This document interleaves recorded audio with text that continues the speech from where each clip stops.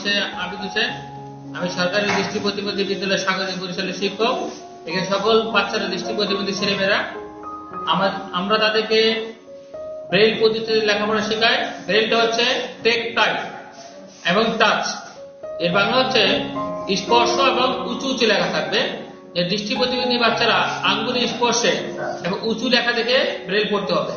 যদি সাধারণ বই হাতালে দেখে আমরা বুঝতে পারি না ব্রেনটা হবে একটু উঁচু থাকে, যা হাতে বাঁধা হাত দিলে বুঝতে পারে অক্ষর এই ব্রেনটা ছয়টা ডটের করে সীমাবদ্ধ।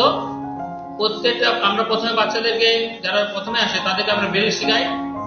ব্রেল শেখানোর পর ব্রেল দিয়ে পড়তে হয়, তা দেখাই। পরে আমরা ধাপে ধাপে এটা তাদেরকে অগ্রসর করাই।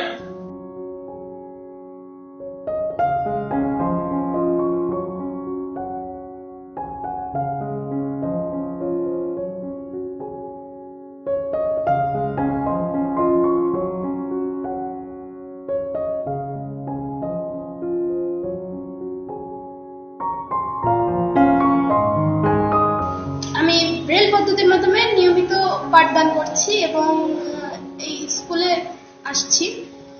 আসসালামু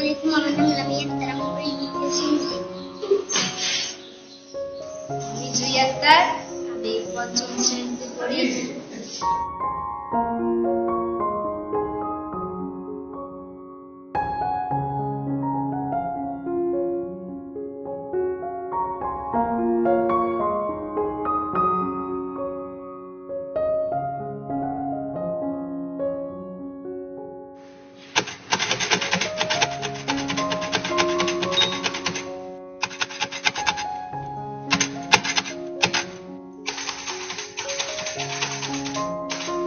আমাদের ছাত্রছাত্রী সম্পূর্ণ দৃষ্টি প্রতিবন্ধী। আমি নিজেও একজন শিক্ষক এবং আমি নিজেও দৃষ্টি প্রতিবন্ধী। সেই হিসাবে তাদেরকে আমি ব্রেলেই পাঠদান করে থাকি। তো সাধারণ বই যেভাবে ছাপানো হয় প্রিন্টের বই, ওই বইগুলো দেখে আমাদের এই বইগুলো প্রিন্ট করা হয় এবং বছরের শুরুতে নর্মাল ছাত্র মানে অর্থাৎ অন্যান্য স্কুলের যে স্বাভাবিক ছাত্রছাত্রীরা যেরকম ভাবে বই পেয়ে থাকে আমাদের স্কুলে বর্তমান সরকারের কল্যাণে আমরা দুই হাজার সতেরো সাল থেকে বই উৎসবের দিনই আমরা আমাদের ছাত্রছাত্রীদেরকে বই বই দিতে পারতেছি আর কি, এবং বই বিতরণ করছি। ওরাও বই পেয়ে খুব আনন্দিত হচ্ছে।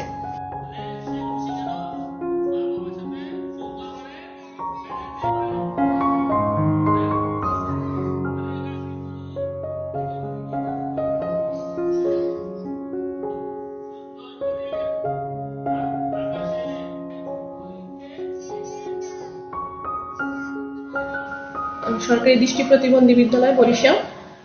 এটি সমাজসেবা অধিদপ্তরাধীন দৃষ্টি প্রতিবন্ধীদের জন্য পরিচালিত একটি বিদ্যালয়। দেশের অন্যান্য সাধারণ বিদ্যালয়ের মতোই আমরাও বছরের শুরুতে পহেলা জানুয়ারি নতুন বই উৎসব করেছি। বাচ্চাদের হাতে প্রথম দিনই আমরা বই তুলে দিয়েছি। আমাদের এখানে একশো দশটি আসন আছে দৃষ্টি প্রতিবন্ধীদের জন্য।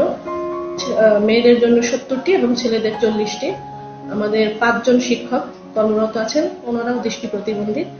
তাছাড়া আমাদের একটা নিবাসিক মধ্যে সমস্যা অধিদপ্তর একটা নিবাসীকে মাসিক পঁয়ত্রিশশো টাকা হারে তার লেখাপড়া, চিকিৎসা খাওয়া দাওয়া সহ আনুষঙ্গিক খরচ আমরা সমস্যা অধিদপ্তর ক্লিয়ার করে তার একটা নিবাসীকে মাথা দিত পঁয়ত্রিশশো টাকা করে প্রতি মাসে তার কাছে খরচ এছাড়া বিভিন্ন বাণিজ্যিক ব্যক্তি এবং জেলা প্রশাসক মহোদয় আছেন, মেয়র মহোদয় আছেন, বিভিন্ন সুদীজনরা তাদেরকে বিভিন্ন সময় বিভিন্ন সহায়তা করে থাকে এবং সুন্দর করে তাদেরকে লেখাপড়া সহ যাবতীয় শিশু সুরক্ষায় যা প্রয়োজন আমরা সেটা তাদেরকে